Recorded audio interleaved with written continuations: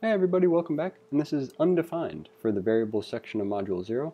The embedded video is going to show up here. And so what is undefined? Consider the following code. And as I said previously, consider the following code usually means go ahead and copy that, bring it over either to the console or to Replit. I'm going to bring it over to Replit and paste it in there. Now consider it usually means to run, so I'm going to clear the previous output and hit run. So we get undefined in the space where we log something to the console, and then again we're returning the last value from this as undefined, and largely we're going to not consider this as being particularly important. We're going to look at this. So it logged undefined to the console, which means that the value of declaration is undefined. That's its value. So if we come back here, uh, we've logged undefined to the console. So when you say variable declaration, this, we're essentially telling this section of code, keep a name called declaration, but don't assign anything to it yet. So what happens is, is that declaration is available for use, but when you check what its value is, it's going to remain undefined.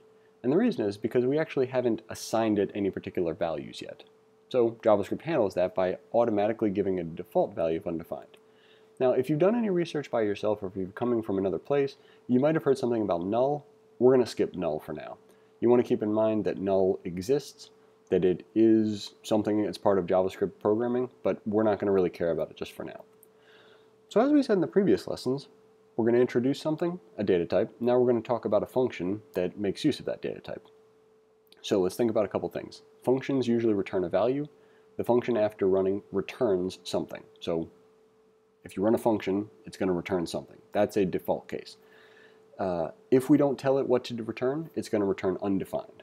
So let's go ahead and consider the following function, which again means go ahead over to REPL and paste it in there. So first we declare a function that takes no parameters, does nothing, and returns nothing. So no parameters, doesn't do anything, and doesn't return anything. On line 6 we're creating a variable called return value, and we're going to assign it to a call to nothing. So again, this is the definition of the function. This is a call to the function. So this line calls the function, assigns the value to return value. Then we're going to console.log return value. So if you run this code in a console, which is what we're doing, or REPL, uh, you can see that return value is undefined. So we're going to clear the console output and run it. Same thing, we get undefined. And that's because nothing, when called, returns undefined by default. So that's pretty much it for undefined, at least for now. So what we're going to do is jump down to a coding challenge. So uh, we will start with a walkthrough, get you started, blah, blah, blah. These coding challenges are largely what's going to occupy time for almost the entire rest of the course, as we've said. So for this one, we have a relatively simple task ahead of us.